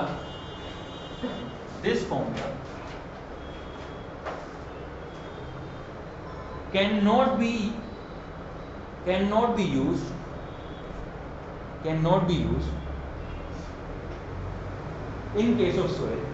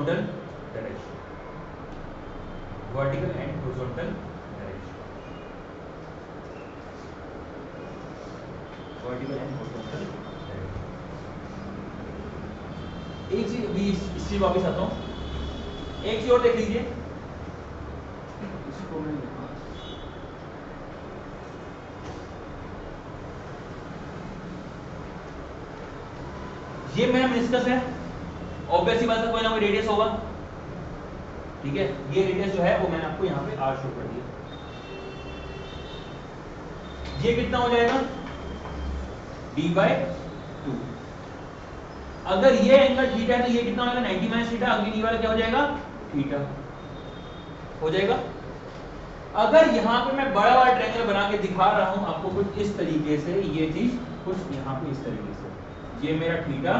ये मेरा डी बाई टू और ये मेरा अगर यहाँ पे मैं cos थीटा लगा रहा हूं तो cos थीटा मेरा क्या हो जाएगा d by two upon R तो यहां पे मेरी जो d की वैल्यू हो जाएगी वो कितनी हो जाएगी टू आर cos थीटा यही होगी अगर मैं वैल्यू यहां पे पुट कर दूं तो यहां पे हो जाएगा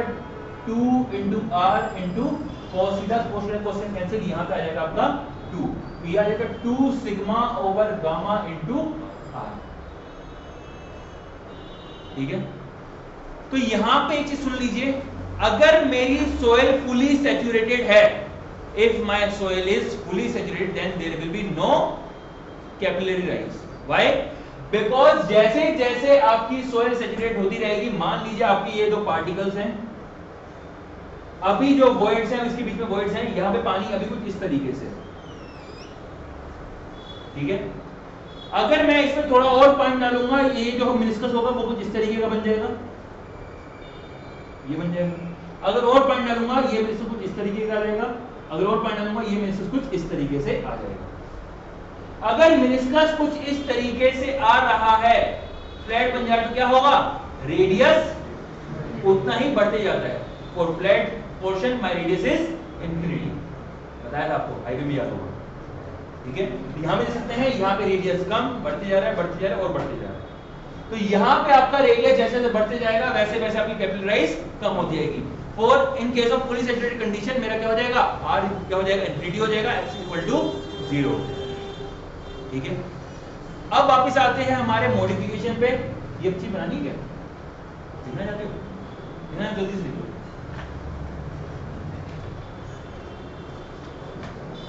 यही आ रहा है पूरे मैसेज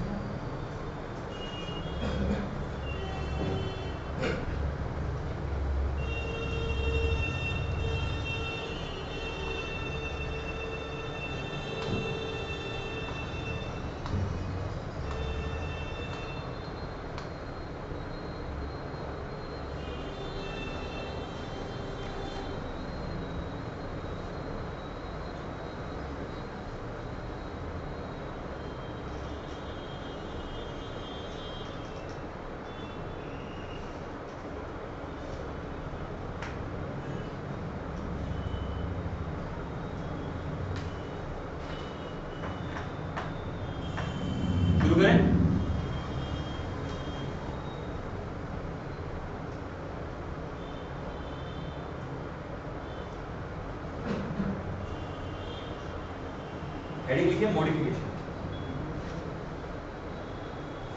यानी लिखिए modification in the formula modification in the formula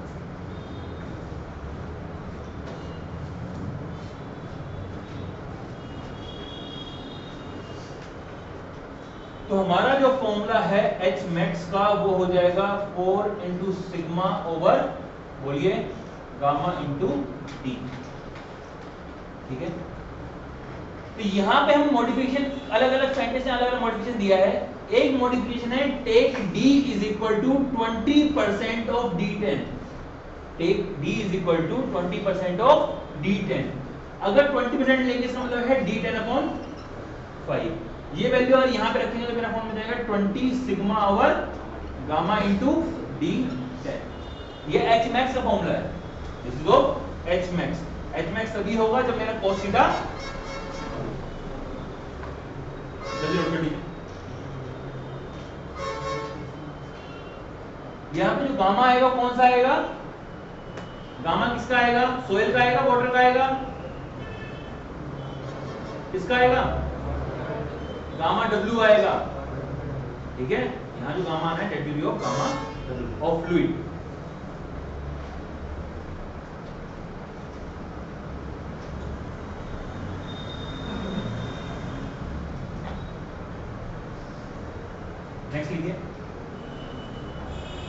Allen Hazen equation Allen Hazen Allen Hazen A double L E N Allen Hazen H A Z E N Hazen equation Allen Hazen ने भी equation दे रखी है H max equal to C over E dot D ten C over E dot D ten इसमें जो C इसमें लिख लीजिए here here C is a constant here c is a constant whose value varies between whose value varies between 0.1 to 0.5 cm square whose value varies between 0.1 to 0.5 cm square and d is in cm यहाँ जो d time रखना है उसमें रखना है centimetre 0.5 centimetre square वहाँ पे है c की जो आना है वो सेंटीमीटर स्क्वायर है 0.12.5 centimeter square the value of C and D10 is in centimeter D10 क्या बोलते हैं इफेक्टिव साइज नेक्स्ट लिखिए नेक्स्ट लिखिए capillary rise can be computed capillary rise can be computed capillary rise can be computed by assuming by assuming the size of the voids to be spherical by assuming the size of the voids to be spherical इधर देखो इधर देखो sir एक sphere की volume क्या होती है four by three pi R cube ठीक है अगर यहां पे हम वॉइड्स की बात कर रहे हैं वॉइड्स को हम स्फेरिकल मान रहे हैं तो ऑब्वियस सी बात है मेरे जो सॉलिड होंगे तो वो भी स्फेरिकल होगी ठीक है तो यहाँ देखिए ध्यान से देखिएगा r क्यूब आ गया अगर मैं r बाई टू करती यहां क्या आ जाएगा डी क्यूब आ जाएगा तो मैं सकता हूं volume of solid is directly proportional to d ten का क्यूब या फिर d का अभी लिख देता हूँ डी क्यूब बाद में d टेन ठीक है आगे बात समझ हाँ या ना उसी तरह यहाँ पे वॉल्यूम ऑफ वॉइड जो होंगे वो वॉल्यूम ऑफ जो सॉलिड आ रहा है साइज का उसका क्यों यही होगा ठीक है आगे बात सर अगर मैं यहाँ पे इन दोनों का रेशियो ले लू वो क्या आ जाएगा मेरा V B upon B H क्या हो जाएगा मेरा ई e, e हो जाएगा ठीक है तो यहां से मैं डी की डी की वैल्यू यहां से आसानी से निकाल सकता हूँ in terms of D S उसकी टर्म निकाल ठीक है इसमें लिखिए इसमें लिखिए here here volume of solid volume of solid of soil is directly proportional is directly proportional to the to the cube of the diameter cube of the diameter. Here diameter taken as here diameter taken as d10. Here diameter taken as is d10. Here diameter taken as d10. ठीक है तो यहाँ पे क्या हो जाएगा V as electron D cube is electron to D ten का cube लिख लीजिए is equal to d tan का क्यूब ठीक है आगे बात समझ चलिए तो यहाँ पे क्या है मेरा volume voids is equal to dv का क्यूब जो मेरे वॉइड्स हैं ठीक है उसको मैंने स्क्वायर माना उसका डायमीटर है उसका क्यूब तो मैंने dv लिख दिया ठीक है चलिए एज्यूम कर रहे हैं ठीक है हमने माना है कि जो हमारे स्पेयर हैं जो हमारे वॉइड्स हैं वो हमारे स्पेरिकल तो शेप तो हाँ जी अलग सेंटेंस अलग दिया ना कॉम्प्लेक्स ठीक है चलिए अगर मैं वी अपॉन बी कर दे रहा हूं यह क्या आ जाएगा मेरा डी का क्यूब अपॉन डी टेन का क्यूब ये मेरा क्या आ जाएगा ई e। e। ठीक है तो यहां से अगर मैं dv का क्यूब निकालना चाहूं वो क्या हो जाएगा d10 का क्यूब इंटू e तो यहां से मेरा dv की वैल्यू कितनी आ जाएगी e की power 1 by three dot D ten की आ जाएगा अब देखिए यहां जो फॉर्मूला था h is equal to four sigma over gamma into D ये मेरा फॉर्मूला था इसमें d क्या था diameter of the diameter of the tube जो मेरी ट्यूब थी उसका डायमीटर जिसमें हमारा पानी बढ़ रहा था यहां पे सोयल में पानी किसमें बढ़ रहा है वॉइड में तो ये वाला डी जो होगा वो डी भी लेंगे ठीक है तो यहां जो वैल्यू पुट करेंगे अब वो आ जाएगी मेरी 4 sigma over gamma into D का one by three dot D ये एच मैक्स आ गया आगे बात समझ क्लियर है सबको चलिए नोट डाउन कर पढ़िए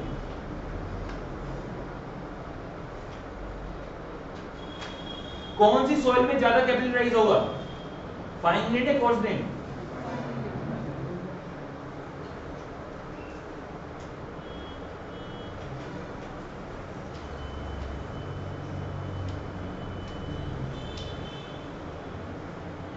अब जो तो कंसेप्ट समझाने वाला हूं ढंग समझिएगा क्योंकि अगला टॉपिक इफेक्टिव स्ट्रेस आने वाला है उसमें वो चीज बहुत इंपॉर्टेंट काम में आएगी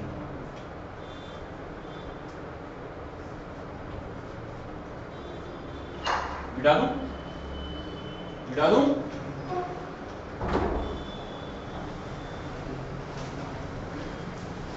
यहां पे ढंग से देखिए क्या हुआ सर क्यों मुस्कुरा रहे हैं हाँ आप ही क्यों मुस्कुरा रहे हैं शादी वादी तो होने वाली है क्या शादी वादी तो होने वाली है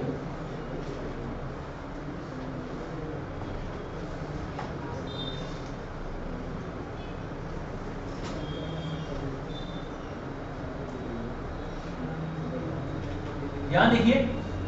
सुनिए इस बात को अगर मेरे पास यहां पे पानी है और पानी के मैं नीचे जा रहा हूं तो ऑब्वियस ही बात है मेरे ऊपर क्या हो रहा है प्रेशर बढ़ रहा है प्रेशर हो क्या था मेरा रोजी इंटू एच आपको मैंने बताया था पूरा पढ़ चुके हैं एग्जाम्पल मैंने आपको दिया था तगाजी टैंक मूवी देख रखी है आपने पहले वो किसमें था 200 मीटर पे था कितने 150 मीटर पे था जब वो 300 मीटर पे जाता है पानी अंदर आना शुरू हो जाता है तो ऐसा क्या हुआ जिसकी वजह से पानी अंदर आना शुरू हो जाता है that is increase in the pressure तो प्रेशर इंक्रीज होता है जैसे जैसे मैं नीचे जाता हूँ इतनी बात समझ आ गई चलिए तो यहाँ जो प्रेशर इंक्रीज होता है वो मेरा हाइड्रोस्टेटिक होता है उसको मैं इस तरीके शो कर देता हूँ ट्रैंगल बन जाता है मेरा सबको पता है इस बात का सबको पता है चलिए अगर मैं कह रहा हूं कि यहां से मेरा पानी राइज होके यहां तक पहुंच गया है अगर मेरा पानी यहां से राइज होके यहां तक पहुंच गया है तो यहां जो पानी होगा उसमें जो प्रेशर होगा वो पॉजिटिव होगा या नेगेटिव होगा उसमें प्रेशर नेगेटिव होगा इसका रीजन सुनिए मेरे पास यहां पर कोई एक पिचकारी है ठीक है मान लीजिए मेरे पास क्या है यहां पर एक पिचकारी है और यहां पर पूरा एक ड्रम है जिसमें पानी भरा हुआ है अगर मैं पिचकारी को खाली उसमें रख रहा हूं ऐसे क्या पानी अपने आप उसमें भर रहा है नहीं उसके अंदर पानी नहीं भर रहा ठीक है अगर लेकिन मैं उसका जो हैंडल होता है उसको अपनी तरफ खींचता हूं तो क्या होता है यहां पे सक्शन क्रिएट होता है सक्शन क्रिएट होने की वजह से क्या होता है पानी उस लेवल के ऊपर उठा होता है ऐसे ही होता है ऐसे ही होता है सक्शन क्रिएट होने की वजह से क्या होता है पानी ऊपर उठा कभी एक बात एक दिन करना कि पिचकारी लेना पिचकारी के आगे अपनी उंगली लगा देना और अपने पीछे खींचना देखना सक्शन पूरा उंगली पे आ जाएगा पूरा यहाँ पे गोल बन जाता है किया होगा बचपन हंड्रेड परसेंट सिविल इंजीनियर ठीक है चलिए अब देखिए अगर लेवल यहां से यहां उठ रहा है इसका मतलब है कोई ना कोई फोर्स इसको यहां से उठा रहा होगा ठीक है तो यहां पे जो प्रेशर आता है उसको हम क्या लेते हैं नेगेटिव में लेते हैं ठीक है तो अगर मैं इसका हाइड्रोस्टेटिक प्रेशर डायग्राम बनाना चाहूं तो वो बनेगा इस तरीके से मान लीजिए दिस इज स्मॉल एच ठीक है और यहां पे जो आ रही है दिस इज कैपिटल एच तो यहां पे जो डायग्राम बनेगा वो कुछ इस तरीके से बनेगा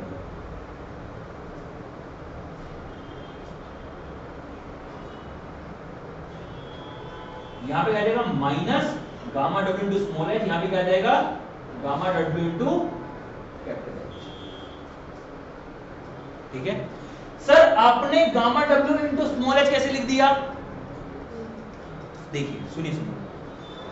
अगर मान लीजिए मेरे पास यहां पे एक पाइप होता से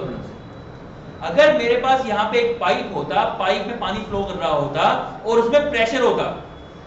ठीक है तो यहां पे अगर मैं छेद करें तो क्या होता है यहां पे पानी राइज होता है इस तरह के अगर मेरे को इसका प्रेशर जानना होता आप क्या कहते सर इसको गामा डब्ल्यू जो एच आई है उसको गामा डब्ल्यू से मल्टीप्लाई कर दीजिए आपके पास यहां पे क्या हो जाएगा प्रेशर आ जाएगा इफ पानी फ्लो कर रहा है इसके अंदर अगर यो फ्लूड करना यूज कर रहा होता तो वहां पे गामा उसका यूज करते थे ठीक है मैम को नींद आ रही इधर देखिए यहां देखिए अब यहां पे जो तो पानी राइज हुआ है यहां पर भी क्या हुआ है पानी राइज हुआ है ठीक है तो ये ऑब्वियस बात यहां पे क्या आएगा माइनस टू इस लेवल पे जीरो आएगा क्योंकि तो फ्री है एटमोस्फेयर प्रेशर यहाँ पे क्लियर है क्लियर है आगे बढ़ सकते हैं ये क्या आएगा आपका यहां पे नेगेटिव यहां पे आपका पॉजिटिव ना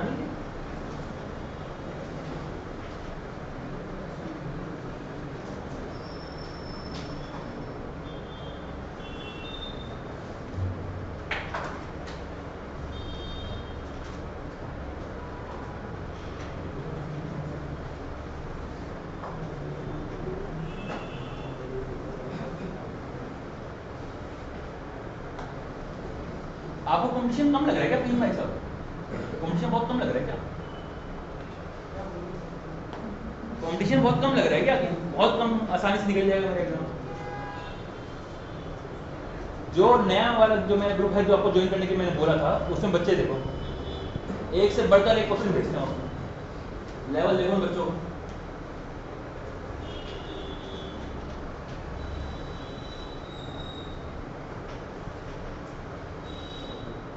क्वेश्चन बाद में आता है आंसर पहले वो भेज दिया हो लेकिन दे जाओ आप लगे पड़े आराम आराम से आराम आराम से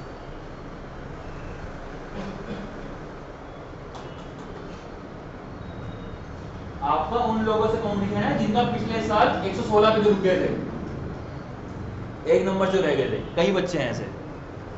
116 115 तो पढ़ने वाले बच्चे हैं ऐसे मजाक वाले बच्चे नहीं हैं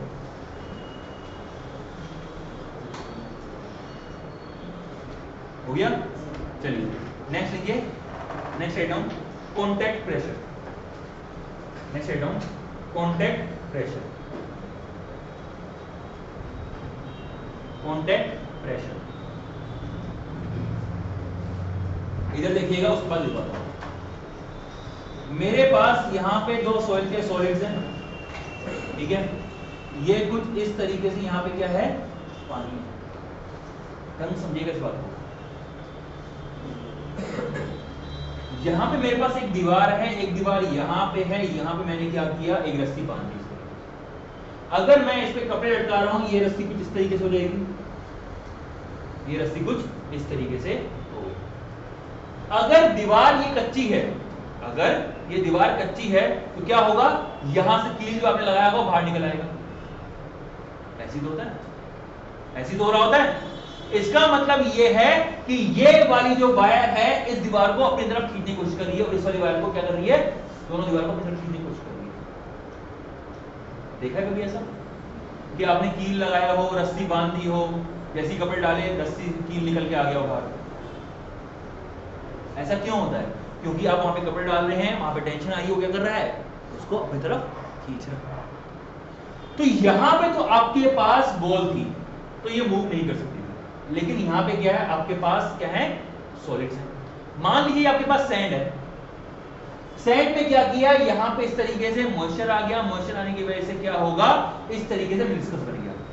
मिनिस्टर बनने की वजह से क्या होगा ये इसको इधर खींच रहा होगा ये इसको इधर खींच रहा होगा क्योंकि एडिसन है पॉइजन एडिसन को पता है इसको इधर खींच रहा होगा इधर खींच रहा होगा ये वाली लेयर किसमें होगी टेंशन में आएगी सरफेस टेंशन तभी आता है ठीक है इसका मतलब ये है कि ये दोनों इस पार्टिकल को ये क्या करना होगा लेयर इस दोनों पार्टिकल को पास पास खींच होगी तो इस वाले वाटर डब इस वाले मिनिस्टर्स की वजह से क्या होता है यहां पे एपेरेंट कोहेजन आ जाता है इस वाले में बेस क्या होता है एक अपेरेंट कोहेजन आ जाता है तो वहीं से हमारा जो कंसेप्ट आना है वो कॉन्टेक्ट प्रेशर कंसेप्ट आना है क्लियर है कोहेजन क्या है सेम पार्टिकल्स के बीच का अट्रैक्टिव फोर्स क्लियर है चलिए देखिए इसमें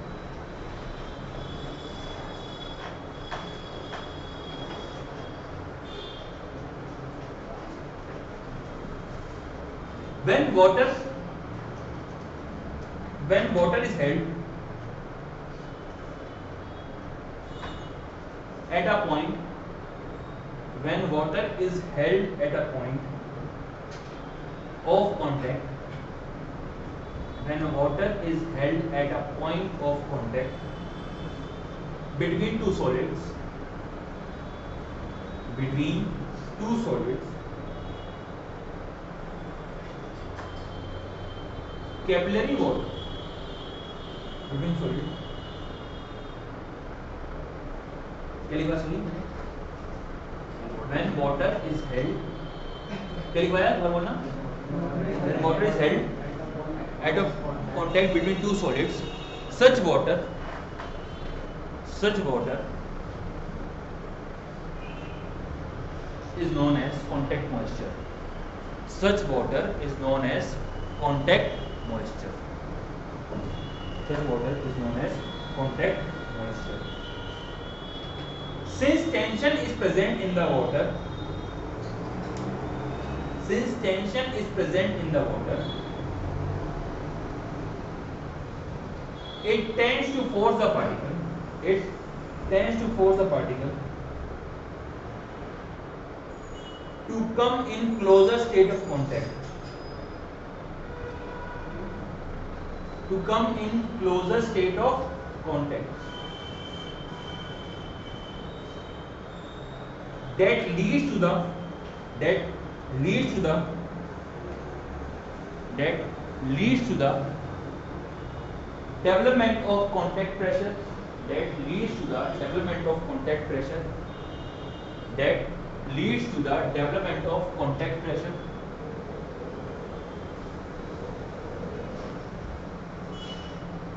which results in phenomenon which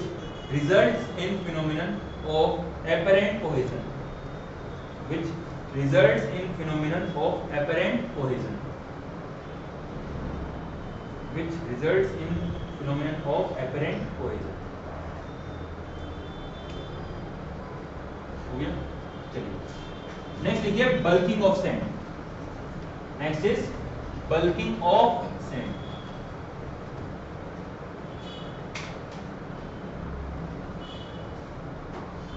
इधर देखिए अगर सैंड में मेरा around four to five percent moisture content है सुन लीजिए इस बात को क्या हुआ लिखा नहीं अगर सैंड में मेरा four to five percent moisture content है ठीक है तो क्या होगा इस तरीके से मिनिस्टर्स का फॉर्मेशन हो जाएगा जब इस तरीके से मेशिकल फॉर्मेशन होगा तो कॉन्टेक्ट प्रेशर डेवलप होगा जिसकी वजह से एपरेंट पॉइजन डेवलप होगा जिसकी वजह से क्या होगा मेरे सैंड के पार्टिकल्स कुछ इस तरीके से क्लस्टर फॉर्म कर लेंगे कुछ इस तरीके से क्लस्टर फॉर्म कर लेंगे जब ये इस तरीके से क्लस्टर फॉर्म करेंगे तो क्या होगा there is large volume of voids in between them बहुत ज्यादा वॉल्यूम ऑफ बॉइड्स इनके बीच में आ जाती है तो वो उसको क्या बोलते हैं हम सैंड की क्या बोलते हैं डबिंग ऑफ सैंड अगर बल्किंग को आपको रिमूव करना है तो क्या कीजिए सोयल को फुली सेचुरेट कर दीजिए फुली सेचुरेट कर देंगे तो आपकी मिनिस्कस गायब मिनिस्कस गायब हो जाएगा सैंड बैठ गई because there will be reduction in volume of ठीक है इसको लिख लीजिए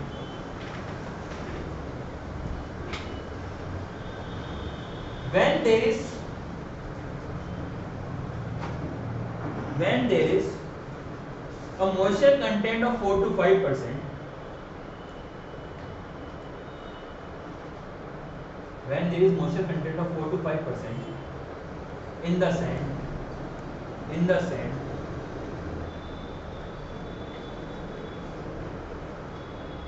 they they are held together they are held together they matlab particles of sand यहां देखिए बात कर रहा हूं क्या मतलब है particles of sand they are held together in the form of cluster in the form of cluster that has that has high volume of voids that has high volume of voids in between them that has high volume of voids in between them which is referred as bulking of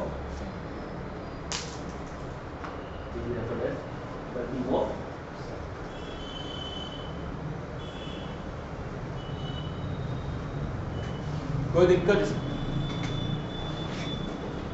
आगे बात समझ सबको पांच minute देख चाहिए दस से दो पाँच मिनट देख लीजिए ठीक है तो आज फिर इफेक्टिव स्ट्रेस वाला टॉपिक खत्म कर देंगे क्लास दो ढाई बजे जितनी चल रही चल रही पाँच मिनट देख लीजिए